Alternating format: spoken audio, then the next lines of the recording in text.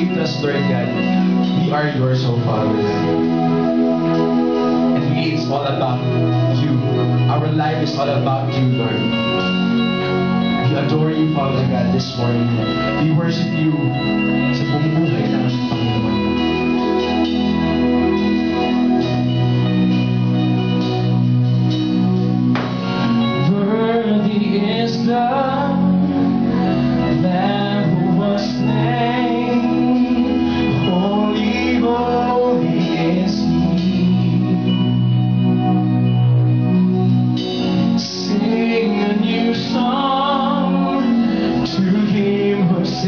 아